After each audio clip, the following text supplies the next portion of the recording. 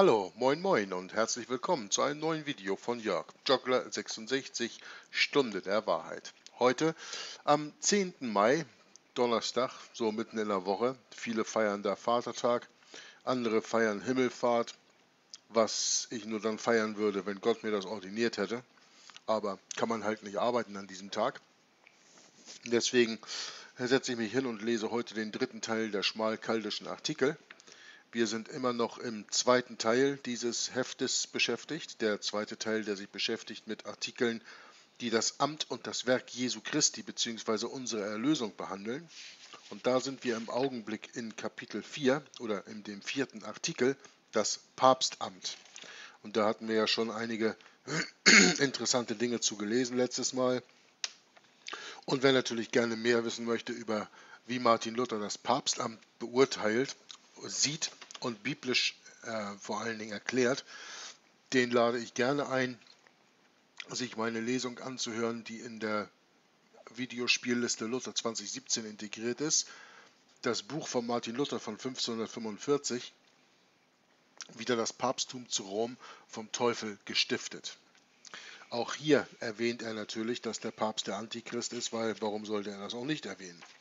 Also, wir fahren jetzt fort in diesem Artikel 4 auf Seite 31 für diejenigen, die sich auch so ein Buch besorgt haben und gerne mitlesen möchten. Da lesen wir, ähm, na, ich gehe vielleicht doch nochmal eben einen Absatz zurück auf den, auf den zweiten oder auf den ersten vollständigen Absatz in diesem, auf dieser Seite, wo wir lesen, dennoch wäre damit der Christenheit in keiner Weise geholfen und es würden viel mehr Sekten entstehen als zuvor. Denn weil man einem solchen Haupt nicht auf Befehl Gottes untertan sein müsste, sondern aus menschlichem guten Willen, würde es sehr leicht und bald verachtet werden und zuletzt kein Glied behalten. Es müsste auch nicht immer zu Rom oder an einem anderen bestimmten Ort sein, sondern wo und in welcher Kirche Gott einen solchen Mann gegeben hätte, der dafür geeignet wäre. Oh, das würde eine umständliche, ungeordnete Einrichtung werden. Darum kann die Kirche niemals besser regiert und erhalten werden, als dass wir alle unter dem einen Haupt Christus leben und die Bischöfe, die in Bezug auf ihr Amt alle gleich sind, obgleich sie in Bezug auf die Gaben ungleich sind.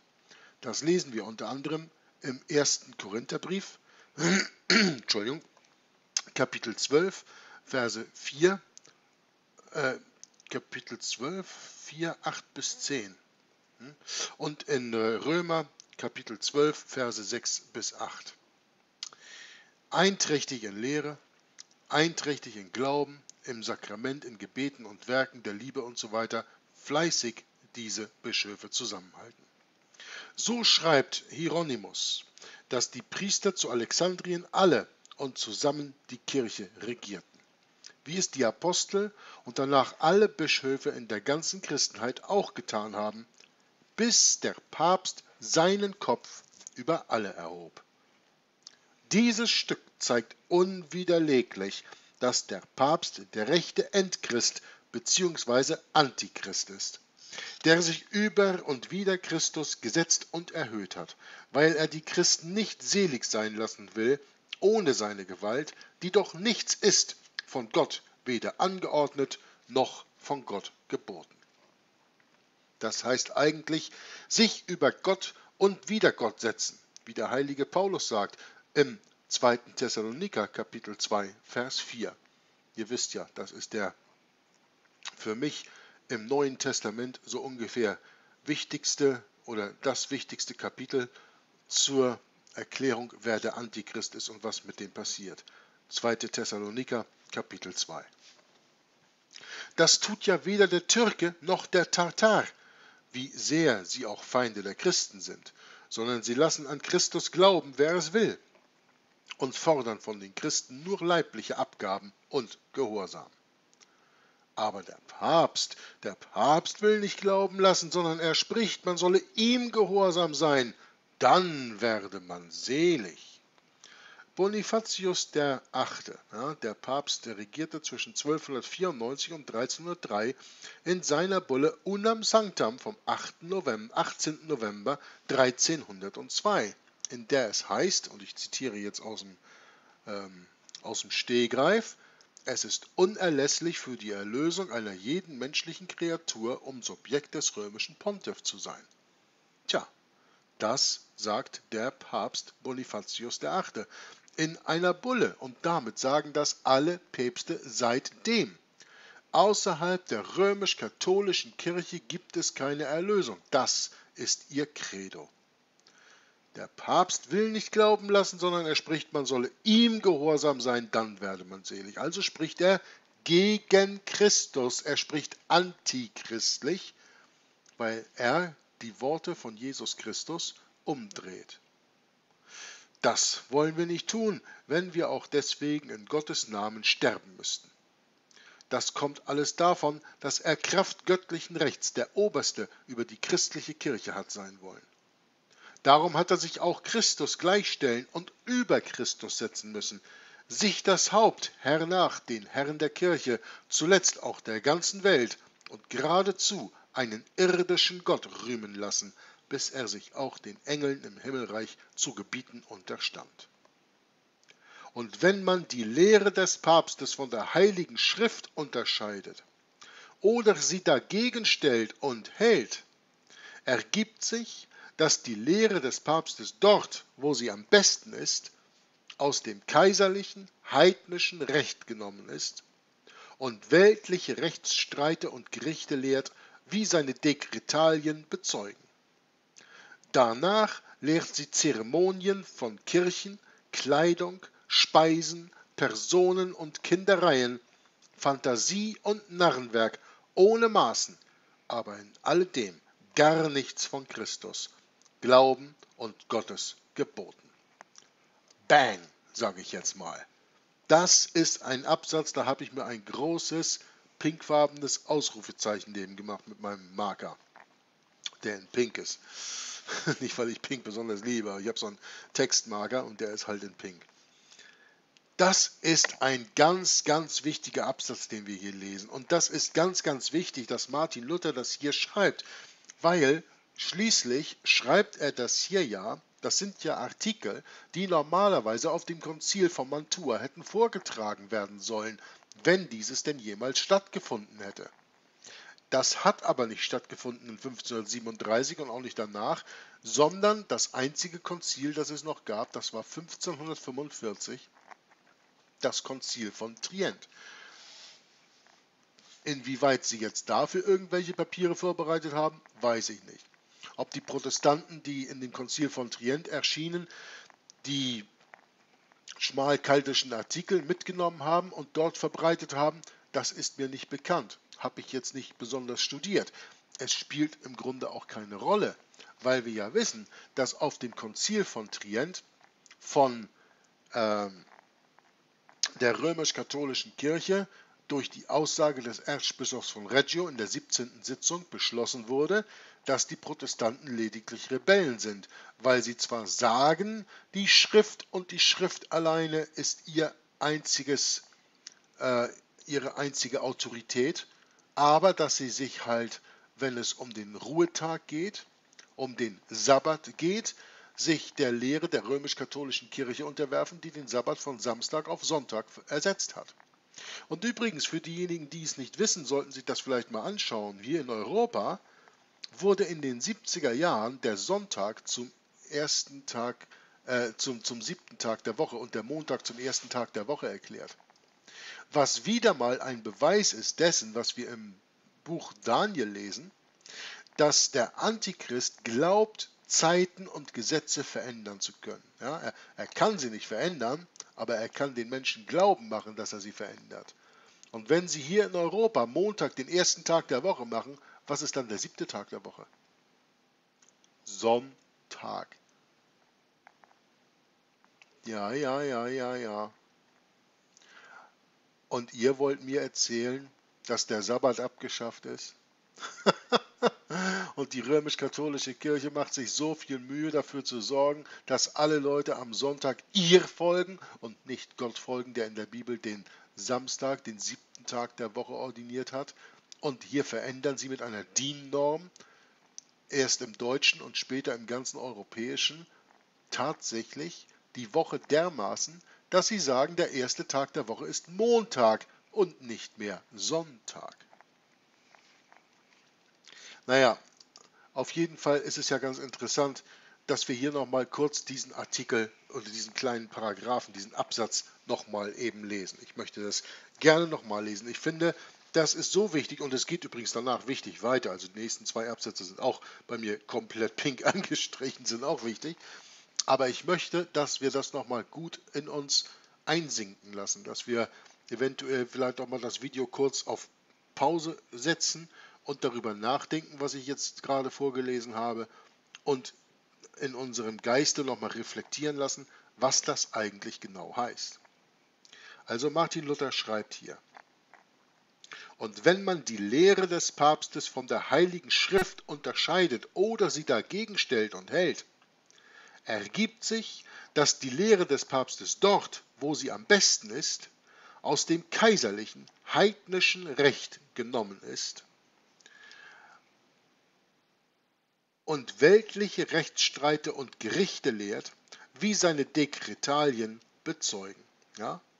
Also, wie seine ganzen päpstlichen Erlässe und Entscheidungen bezeugen. Danach lehrt sie Zeremonien von Kirchen, Zeremonien von Kleidung, Speisen, Personen und Kindereien, Fantasie und Narrenwerk ohne Maßen, aber in alledem gar nichts von Christus, Glauben und Gottes geboten. Zuletzt ist es nichts weiter als reines Teufelswerk, wo er seine Lügen über die Messe, das Fegefeuer, das Mönchtum, eigene Werke und den Gottesdienst, der das rechte Papsttum ist, über und weder Gott lehrt und alle Christen verdammt, tötet und plagt, die einen solchen Greuel nicht über alles erheben und ehren. Darum, so wenig wir den Teufel selbst als einen Herrn oder Gott anbeten können, so wenig können wir auch seinen Apostel, den Papst oder Endchrist oder Antichrist in seinem Regiment als Haupt oder Herrn dulden. Denn Lügen und Mord um den Leib und die Seele ewiglich zu verderben, ist eigentlich sein päpstliches Regiment, wie ich das in vielen Büchern bewiesen habe. Somit schließt Martin Luther hier den vierten äh, Artikel über das Papsttum oder das Papstamt. Und ich wiederhole jetzt eben diesen letzten Teil nochmal. Den ersten Absatz, den ich gerade so markiert habe in diesem Buch, habe ich ja schon mal gelesen. Jetzt auch diesen nochmal, dass wir das bitte sehr, sehr gut verstehen und auch begreifen, dass alles, was Martin Luther hier sagt, absolut biblisch begründet ist. Ja? Und das könnt ihr ja selbst dann erfahren, wenn ihr in der Bibel solche Dinge nachschlagt. Zuletzt ist es weiter nichts als reines Teufelswerk, wo er seine Lügen über die Messe, das Fegefeuer, das Mönchtum, eigene Werke und den Gottesdienst, der das rechte Papsttum ist, über und wider Gott lehrt und alle Christen verdammt, alle Christen tötet und plagt, die einen solchen Gräuel nicht über alles erheben und ehren. Darum Ebenso wenig wir den Teufel selbst als einen Herrn oder Gott anbeten können, so wenig können wir auch seinen Apostel, also vom Teufel, des Teufels Apostel, den Papst oder Endchrist oder Antichrist in seinem Regiment als Haupt oder Herr dulden. Denn Lügen und Mord um den Leib und die Seele ewiglich zu verderben, ist eigentlich sein päpstliches Regiment, wie ich das in vielen Büchern bewiesen habe. Und wie gesagt, ganz sicher in dem Buch Wieder das Papsttum zu Rom vom Teufel gestiftet, das 1545, ein Jahr vor Martin Luthers Tod erschien und in dem er da ganz, ganz deutlich darauf eingegangen ist und das ich auf meinem Kanal gelesen habe und das ihr in der Abspielliste Luther 2017 zurückfinden könnt. Fünftens. Zusammenfassung zum zweiten Teil der Artikel. Ja, also in diesem äh, zweiten Teil der Artikel haben wir gesehen die verschiedenen Punkte, die Messe, wir haben Missbräuche, die aus der Messe folgen, gesehen und besprochen. Wir haben das Anrufen der Heiligen, der dritte Artikel Stifte und Klöster und der vierte Artikel das Papstamt gerade eben gelesen. Jetzt kommen wir zu einer kurzen Zusammenfassung zum zweiten Teil dieser Artikel, der schmalkaldischen Artikel. An diesen vier Artikeln werden Sie auf dem Konzil genug zu verdammen haben. Denn sie können und wollen uns nicht das geringste Stückchen von einem der Artikel zugestehen. Des dürfen wir gewiss sein und uns auf die Hoffnung verlassen, dass Christus, unser Herr, seinen Widersacher angegriffen hat und sich durchsetzen wird, sowohl mit seinem Geist als auch mit seiner Wiederkehr, wie wir in 2. Thessaloniker Kapitel 2 Vers 8 lesen. Amen. Denn auf einem Konzil werden wir nicht vor dem Kaiser oder der weltlichen Obrigkeit wie zu Augsburg stehen, der eine ganz gnädige Einladung aussandte und die Dinge in Güte anhören ließ, sondern wir werden vor dem Papst und dem Teufel selbst stehen, der nicht zuhören, sondern kurzerhand zu verdammen, zu morden und zur Abgötterei zu zwingen beabsichtigt. Darum dürfen wir hier nicht seine Füße küssen oder sagen, ihr seid mein gnädiger Herr, sondern wie Zacharia, der Engel zum Teufel sprach, in Zacharia 3, Vers 2, Straf dich Gott, Satan. Wir kommen zum dritten Teil der Artikel. Folgende Stücke oder Artikel können wir mit Gelehrten, Vernünftigen oder unter uns selbst verhandeln. Denn der Papst und sein Reich achten derselben nicht viel, denn das Gewissen ist bei ihnen nichts, sondern Geld, Ehre und Gewalt alles. Teil 1. Die Sünde. Und hier habe ich ein paar Bemerkungen zu machen. Martin Luther spricht hier gleich im ersten Absatz von der Erbsünde oder Hauptsünde. Erbsünde, und ich sage das jetzt vorher, dann muss ich gleich meinen Text deswegen nicht unterbrechen, Erbsünde ist eine katholische Lehre. Es gibt keine Erbsünde. Durch den Fall der Menschen sind wir alle in Sünde und Übertretungen geboren. Durch den Fall des ersten Menschen. Aber es gibt keine Erbsünde. Das ist eine falsche katholische Lehre. Ja? Und da kann man sich auch eine Sache in der Bibel zu anschauen. Und da steht das sehr, sehr deutlich beschrieben, wenn wir das äh, Buch der Epheser aufschlagen in Kapitel 2. Da heißt es, auch euch, die ihr tot wart durch Übertretungen und Sünden, in denen ihr einst gelebt habt nach dem Lauf dieser Welt, gemäß dem Fürsten, der in der Luft herrscht, dem Geiste, der jetzt in den Söhnen des Ungehorsams wirkt. Unter ihnen führten auch wir alle einst unser Leben in den Begierden unseres Fleisches, indem wir den Willen des Fleisches und der Gedanken taten, und wir waren von Natur Kinder des Zorns, wie auch die anderen. Gott aber, der reich ist an Erbarmen, hat um unser großen Liebe willen, mit der er uns geliebt hat, auch uns, die wir tot waren durch die Übertretungen, mit dem Christus lebendig gemacht. Aus Gnade seid ihr errettet und hat uns mit auferweckt und mitversetzt in die himmlischen Regionen in Christus Jesus, damit er in den kommenden Weltzeiten den überschwänglichen Reichtum seiner Gnade in Güte an uns erweise in Christus Jesus. Das sind die ersten sieben Verse gewesen aus Epheser Kapitel 2.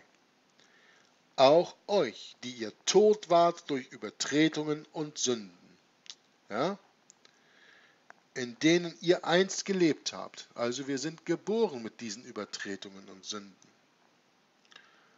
Unter ihnen auch unter ihnen führten auch wir alle einst unser Leben in den Begierden unseres Fleisches, indem wir den Willen des Fleisches und der Gedanken taten, und wir waren von Natur Kinder des Zorns, wie auch die anderen.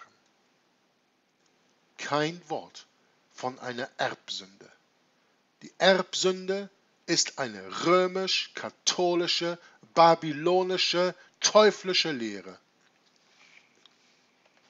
Und Martin Luther hat das nicht erkannt, wie er so viele Dinge nicht erkannt hat, aber er hat auch andere viele Dinge erkannt.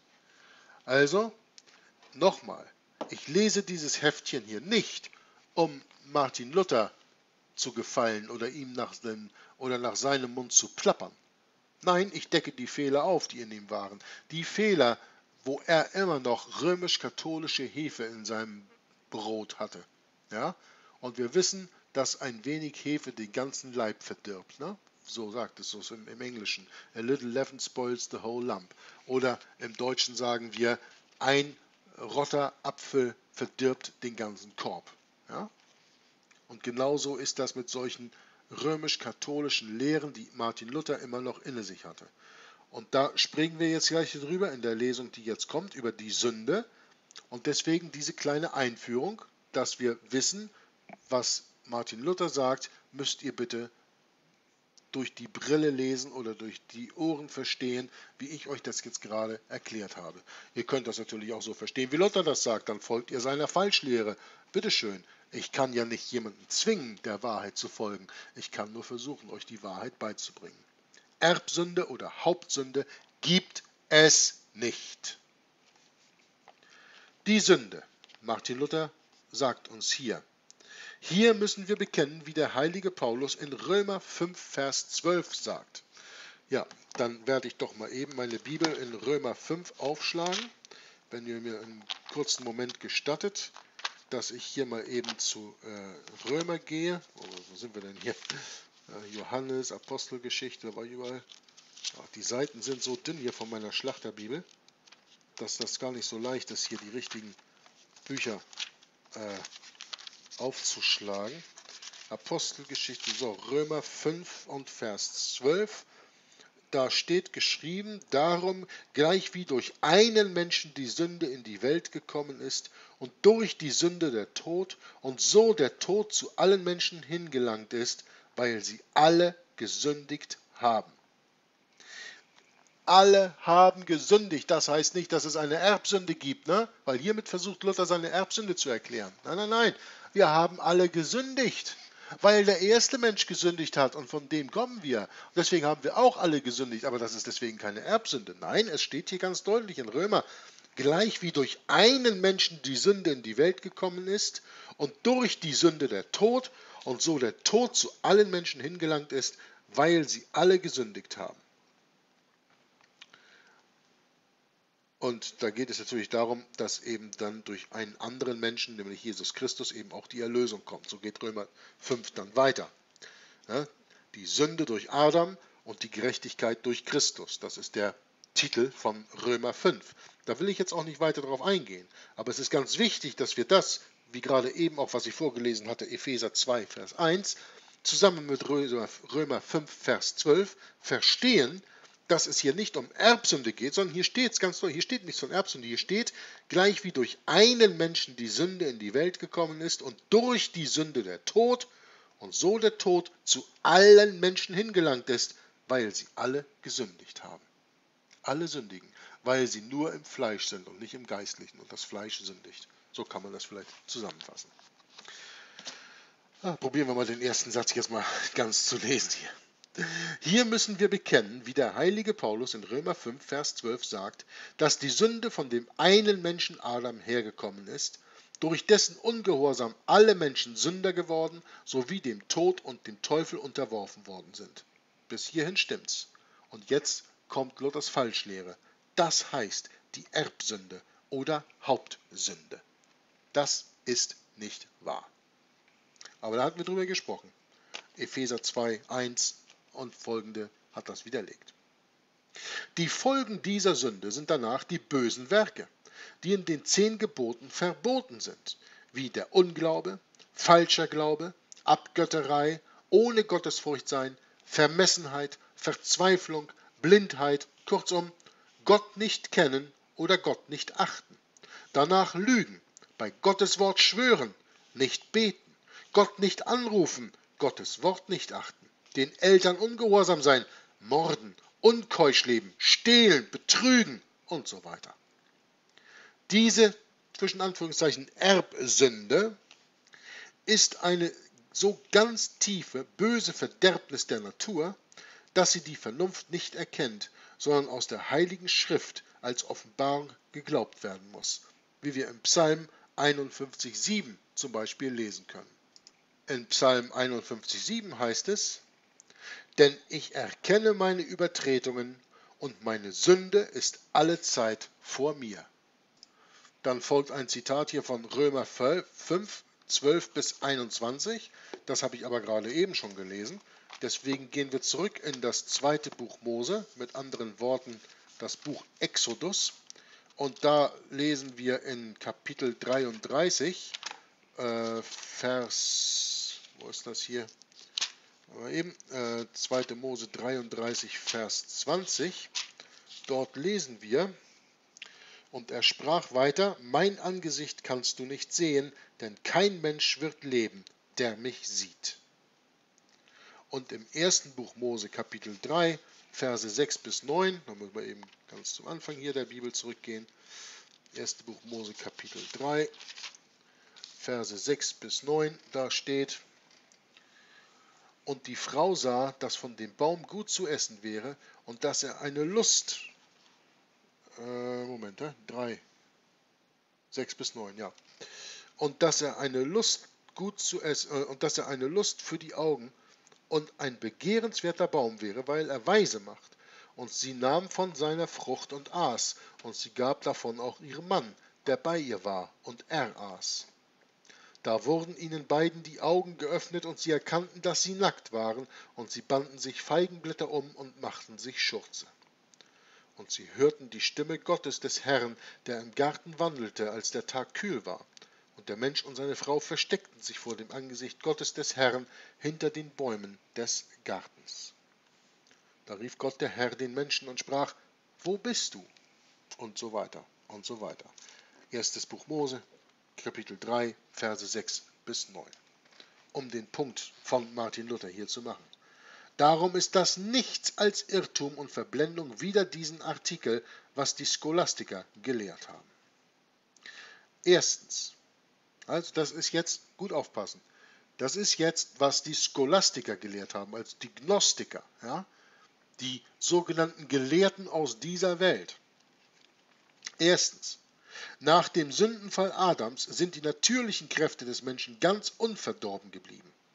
Der Mensch hat von Natur eine rechte Vernunft und der Mensch hat von Natur einen guten Willen, wie dies die Philosophen lehren.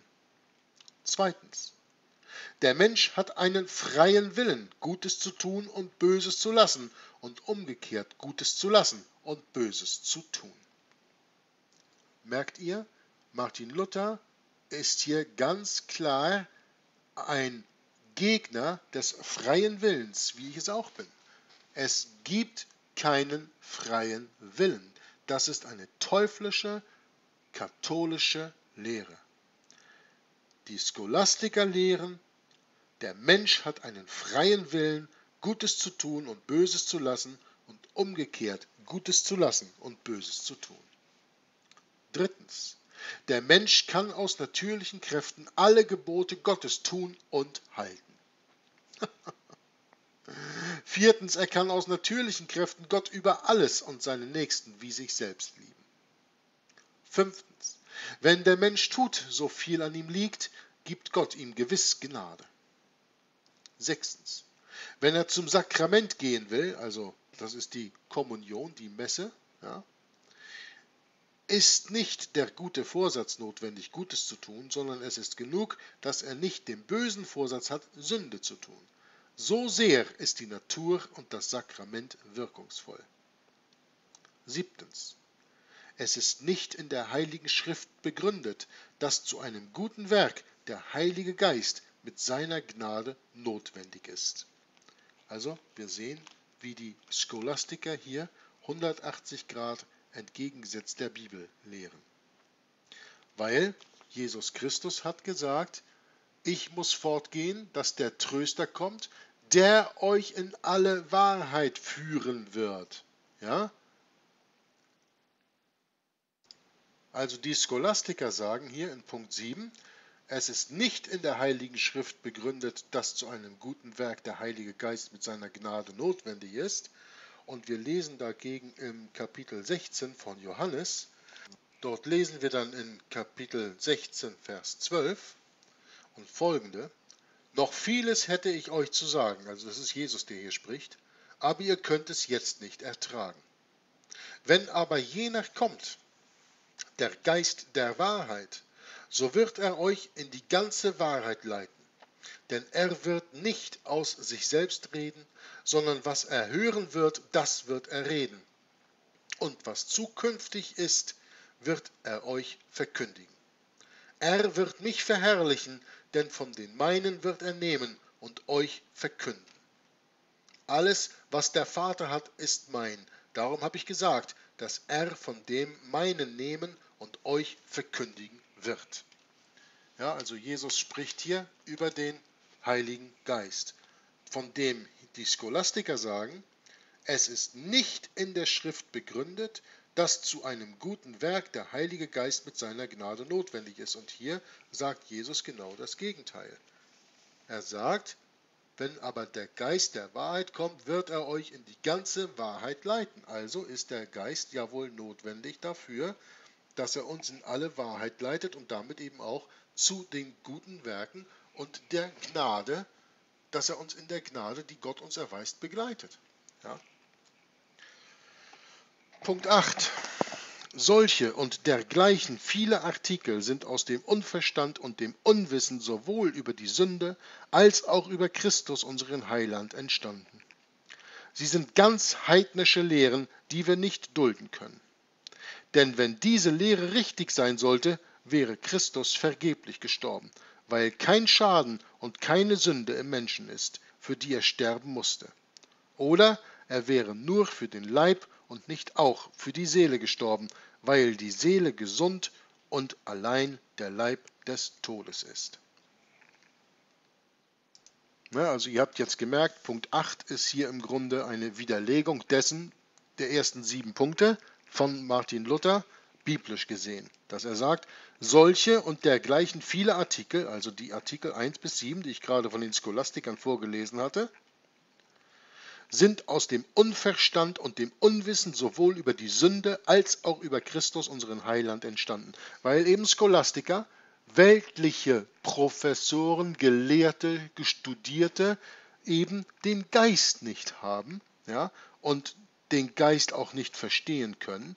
Deswegen sind diese Artikel aus dem Unverstand und Unwissen entstanden. Sie sind ganz heidnische Lehren, ja, weil Gnostiz, der Gnostizismus ist heidnisch. Heidnische Lehren, die wir Christen nicht dulden können. Denn wenn diese Lehre richtig sein sollte, also die sieben Punkte, die ich euch gerade vorgelesen hatte, wenn die richtig sein sollten, dann wäre Christus vergeblich gestorben, weil kein Schaden und keine Sünde im Menschen ist, für die er sterben musste. Oder er wäre nur für den Leib und nicht auch für die Seele gestorben, weil die Seele gesund und allein der Leib des Todes ist. So viel zur Sünde. Im zweiten Punkt sprechen wir über das Gesetz.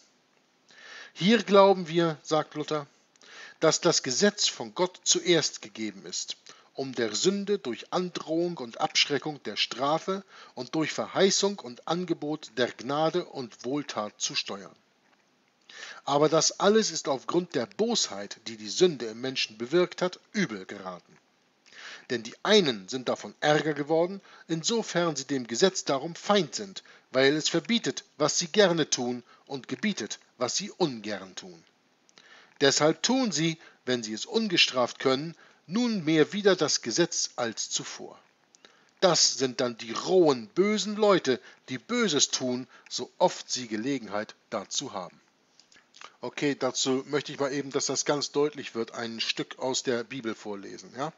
Also, wir hatten gerade eben gelesen, dass Martin Luther hier sagt, deshalb tun sie, wenn sie es ungestraft können, Nee, nee, den Satz davor brauche ich schon. Äh, denn die einen sind davon ärger geworden, insofern sie dem Gesetz darum Feind sind, weil es verbietet, was sie gerne tun, und gebietet, was sie ungern tun.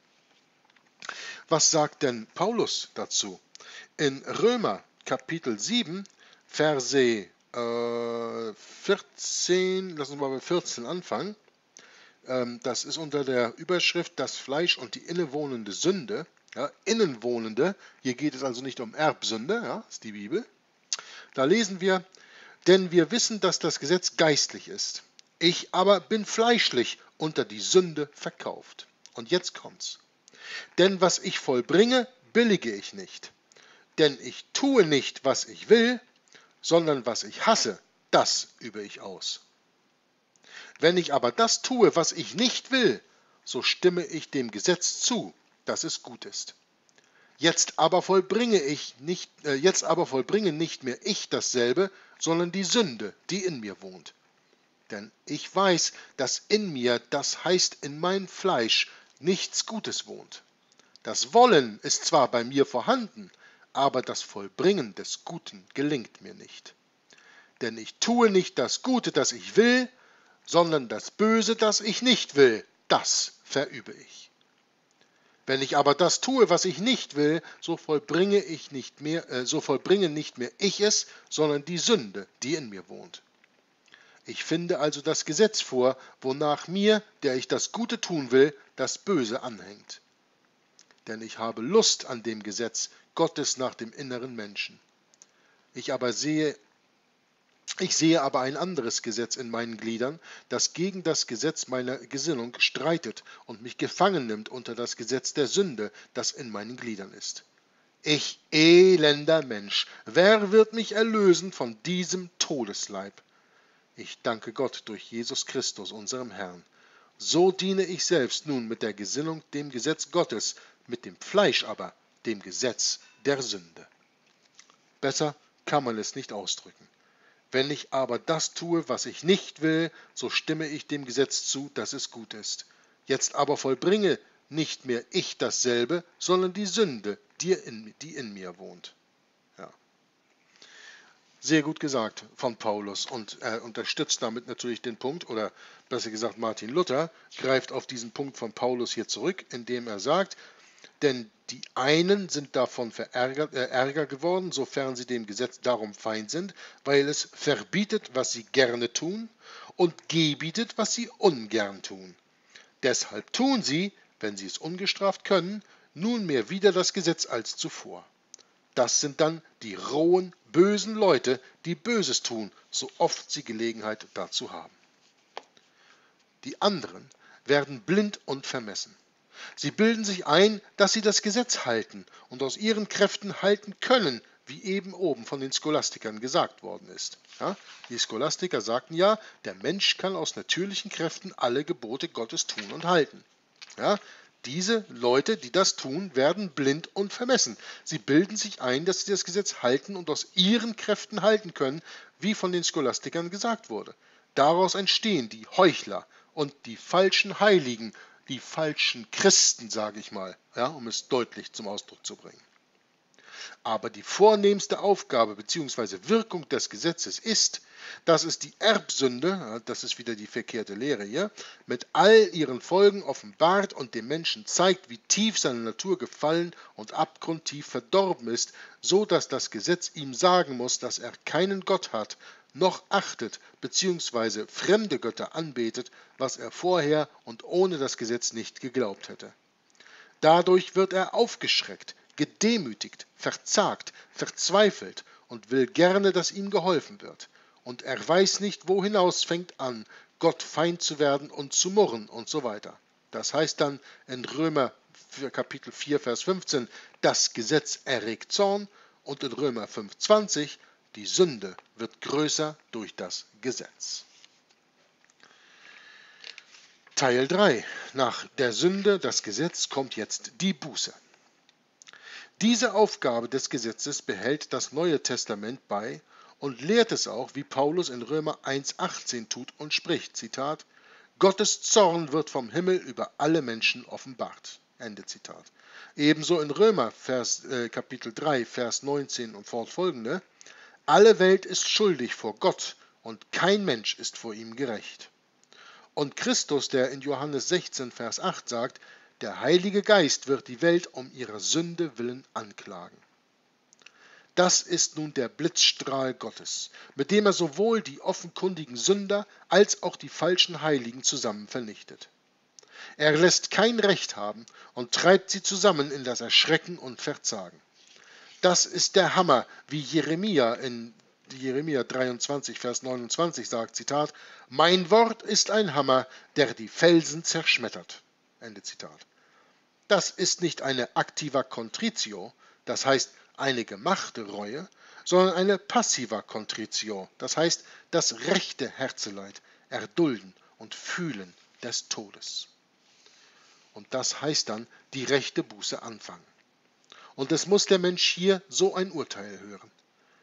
Es ist mit euch allen nichts, ob ihr öffentliche Sünder oder Heilige seid.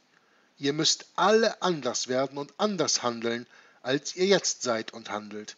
Ihr mögt wer und wie groß, weise, mächtig und heilig sein, wie ihr wollt.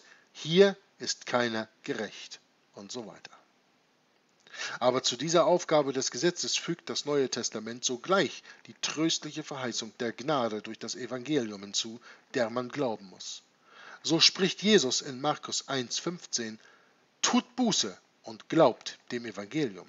Das heißt, werdet und macht es anders und glaubt meiner Verheißung. Und vor ihm wird Johannes ein Prediger der Buße genannt, doch zur Vergebung der Sünden in Markus 1, Vers 4. Das heißt, er sollte sie alle anklagen und zu Sündern machen, damit sie wussten, wer sie vor Gott sind, und sich als verlorene Menschen erkannten und so für den Herrn bereit wurden, die Gnade zu empfangen und die Vergebung der Sünden von ihm zu erwarten und anzunehmen. So sagt auch Christus in Lukas 24, 47 selbst, Zitat, man muss in meinem Namen in aller Welt Buße und Vergebung der Sünden predigen. Ende Zitat. Wo das Gesetz aber allein ohne das Hinzufügen des Evangeliums dieser Aufgabe nachkommt, da sind der Tod und die Hölle. Und der Mensch muss wie Saul und Judas verzweifeln. Dazu können wir vergleichend lesen im ersten Buch Samuel, Kapitel 28, Vers 20, 31, Vers 4 und Matthäus 27, Verse 3 bis 7. Wie der heilige Paulus sagt in Römer 7, äh, Vers 10, das Gesetz tötet durch die Sünde. Andererseits gibt das Evangelium nicht nur auf eine Art Trost und Vergebung, sondern durch das Wort, das Sakrament und dergleichen, wie wir hören werden, damit die Erlösung bei Gott ja reichlich, wie Psalm 130, Vers 7 sagt, wieder das große Gefängnis der Sünden sei. Jetzt aber müssen wir die falsche Buße der Sophisten gegen die rechte Buße halten, damit sie beide desto besser verstanden werden. Mit Sophisten gebraucht Luther hier einen abfälligen Ausdruck für die scholastischen Theologen des Mittelalters. Und ihr wisst ja, Sophistik und Kasuistik haben wir ja in meinen Videos bereits mehr als genug besprochen. Das hat also selbst Luther vor 500 Jahren schon erkannt. So viel zum Thema der Buße. Jetzt kommen wir zum nächsten Punkt, die falsche Buße, nämlich die falsche Buße der Papisten. Papisten ist übrigens kein anderes Wort als für Katholiken, ne? dass wir uns da eben mal deutlich verstehen. Ne? Jeder, der den Papst über Gott stellt, ist ein Papist. Und die Katholiken tun das alle. Das müssen sie nach ihrem Katechismus und nach römisch-kanonischem Recht auch tun. Und nein, das ist keine Anklage gegen Katholiken, das ist, um es euch mal deutlich zu machen und euch zu fragen, wem wollt ihr eigentlich gehorchen? Dem Menschen, dem falschen Christen oder dem wahren Jesus Christ aus der Bibel? Die Frage müsst ihr für euch selbst beantworten. Und die Entscheidung müsst ihr für euch selbst treffen. Das hat nur nichts mit freiem Willen zu tun. Lasst euch vom Geist leiten und dann werdet ihr sehen, welchem Willen ihr folgt. Also die falsche Buße der Papisten. Es ist unmöglich gewesen, dass sie recht von der Buße lehren konnten, weil sie die rechte Sünde nicht erkannten. Denn sie denken über die Erbsünde, wie oben gesagt, nicht richtig sondern sagen, die natürlichen Kräfte des Menschen seien unversehrt und unverdorben geblieben, die Vernunft könne richtig belehren und der Wille könne daraufhin richtig handeln, so dass Gott gewiss seine Gnade gibt, wenn ein Mensch tut, so viel entsprechend seinem freien Willen an ihm liegt. Ja, das ist so voll Gnostizismus und sophistischer Sprache, dass ich hier gar nicht weiter drauf eingehe. Das habt ihr selbst alle gut genug verstanden. Hieraus musste folgen, dass sie allein für die Tatsünden Buße taten, wie böse Gedanken, in die sie eingewilligt hatten. Denn böse Regungen, Begierde und Affekte galten nicht als Sünde böse Worte, böse Werke, die der freie Wille gut hätte unterlassen können. Und für diese Buße setzten sie drei Teile fest. Reue, Beichte und Genugtuung. Mit dieser Vertröstung und Zusage. Wenn der Mensch richtig bereut, beichtet und genug tut, hat er damit die Vergebung verdient und die Sünde vor Gott bezahlt. So unterwiesen sie die Leute, sich in der Buße auf die eigenen Werke zu verlassen. Von daher kam das Wort auf der Kanzel, wenn man die allgemeine Beichte dem Volk vorsprach. Erhalte mir, Herr Gott, mein Leben, bis ich für meine Sünden Buße getan und mein Leben gebessert habe. Hier wurde kein Christus und nichts vom Glauben erwähnt, sondern man hoffte, mit eigenen Werken die Sünde vor Gott zu überwinden und zu tilgen. In dieser Absicht wurden wir auch Priester und Mönche, weil wir selbst der Sünde entgegenwirken wollten. Ja, hier weiß Luther ganz sicher, wovon er spricht. Er war jahrelang im Augustinerkloster und ist an der Suche nach Vergebung durch den Herrn beinahe zugrunde gegangen. Ja? In dieser Absicht, sagte deswegen hier, wurden wir Priester und Mönche, weil wir selbst der Sünde entgegenwirken wollten. Wir wollten es selbst, ohne die Gnade, ohne das Zutun Gottes. Und das heißt, durch Gnade seid ihr errettet und das nicht durch eure Werke, auf dass niemand sich rühme. Hm? Mit der Reue verhielt es sich folgendermaßen. Weil niemand sich auf alle seine Sünden besinnen konnte, besonders auf die, die er in einem ganzen Jahr begangen hatte, fanden sie folgenden Ausweg. Wenn die unbewussten Sünden danach bewusst, würden, bewusst wurden, musste man sie auch bereuen und beichten und so weiter. Währenddessen waren sie der Gnade Gottes befohlen.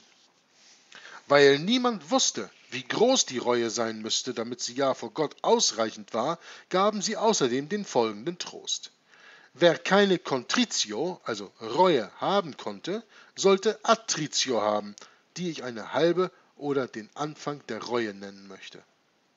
Denn sie haben selbst alle beide nicht verstanden und wissen auch jetzt noch nicht, was sie bedeuten, so wenig wie ich. Diese Attritio wurde dann Contritio angerechnet, wenn man zur Beichte ging. Und wenn es geschah, dass zum Beispiel einer sprach, er könnte nicht bereuen, noch über seine Sünde Leid empfinden, wie es bei Hurenliebe und Rachgier und so weiter geschehen konnte, fragten sie, ob er denn nicht wünsche oder gerne wollte, dass er Reue empfinden möchte. Sprach er dann, ja, denn wer wollte hier Nein sagen außer dem Teufel selbst, nahmen sie es als Reue an und vergaben ihm auf solch ein gutes Werk hin seine Sünden. Dafür führten sie den heiligen Bernhard als Beispiel an. Ja, da geht es hier um Bernhard von Clairvaux, der lebte zwischen 1091, also 1091 und 1153. Er trat 1113 in den Zisterzienserorden ein und wurde 1115 Abt des Klosters Clairvaux. Er gewann nicht nur auf seine Orden, sondern auf die Theologie und Kirchenpolitik einen großen Einfluss. An dieser Stelle beruft man sich zu Unrecht auf ihn, sagt hier eine Fußnote in, äh, in dem Schreiben. Ja, Rom beruft sich zu Unrecht auf ihn, füge ich dafür hinzu. Ja?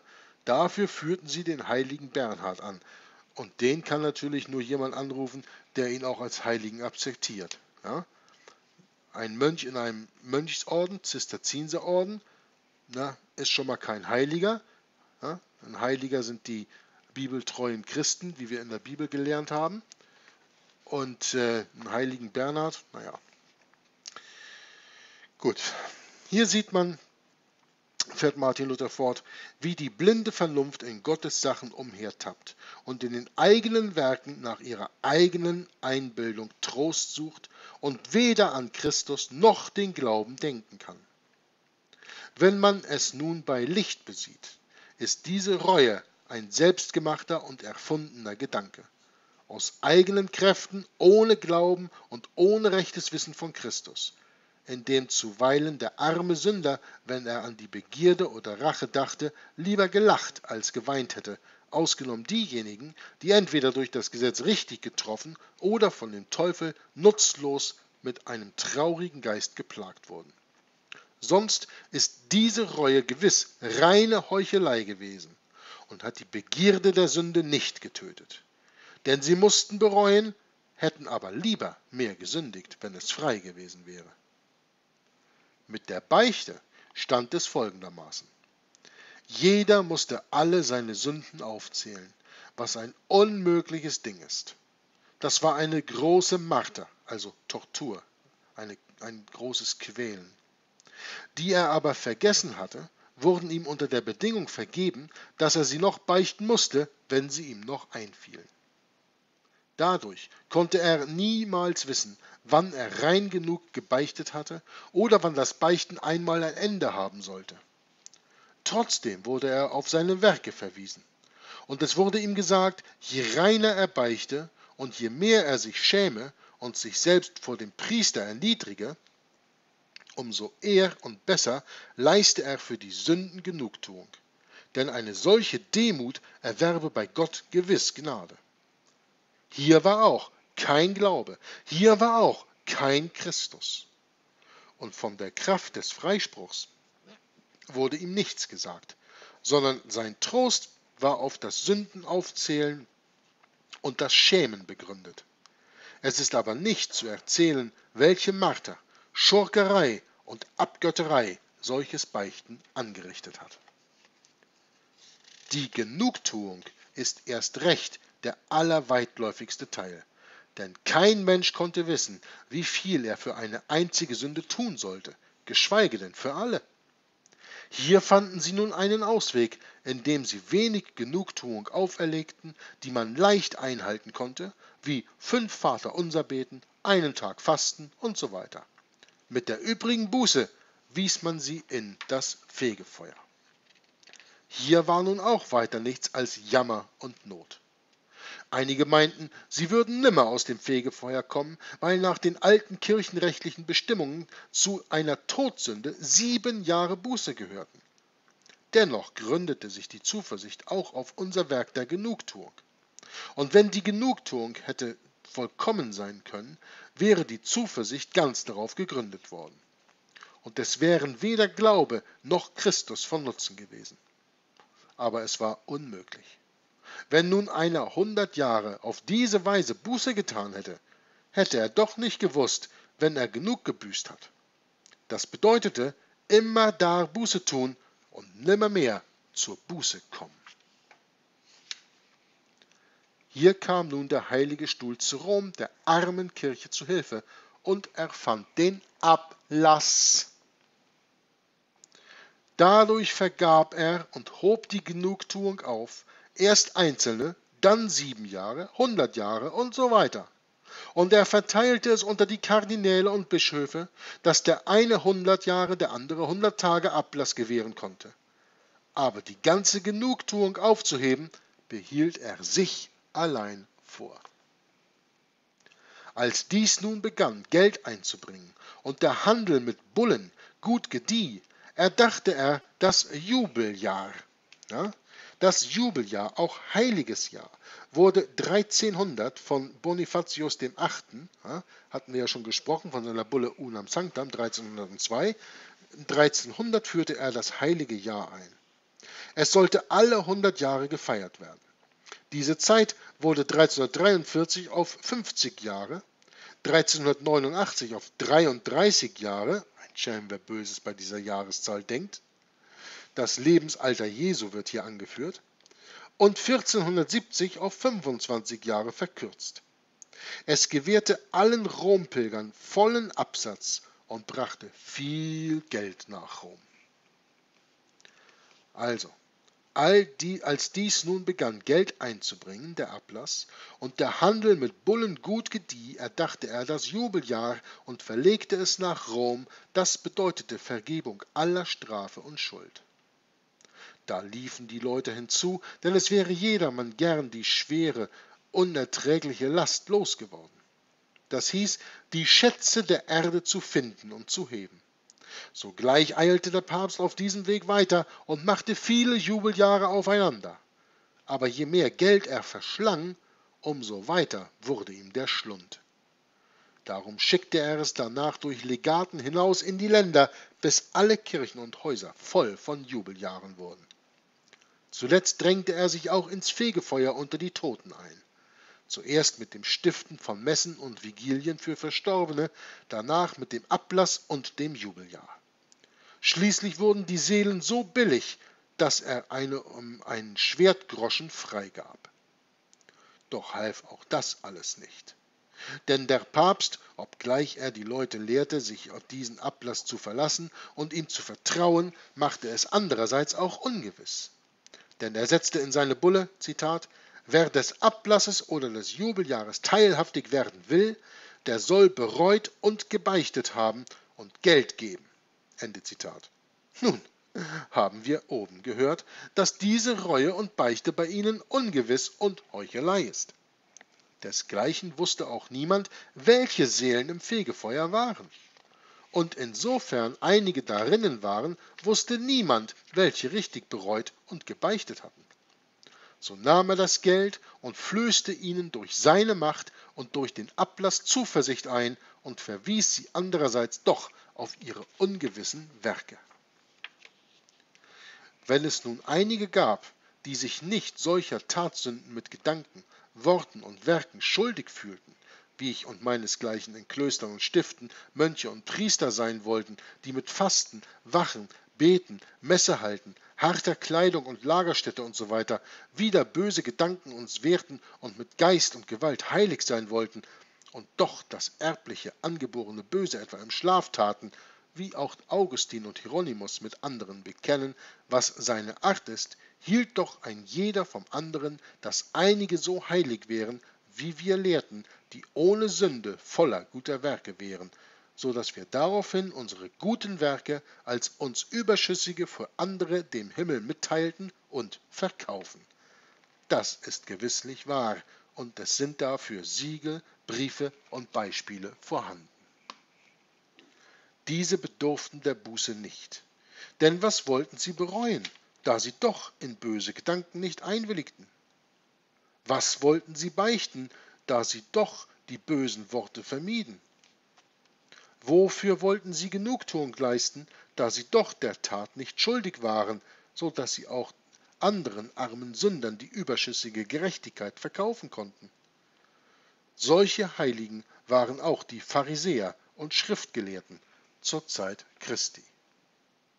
Und die modernen Pharisäer und Schriftgelehrten sind die Menschen in der Hierarchie der römisch-katholischen Kirche.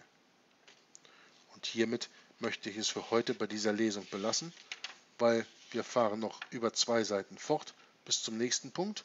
Wir nehmen es hier in der vierten Lesung der schmalkaldischen Artikel nächstes Mal auf.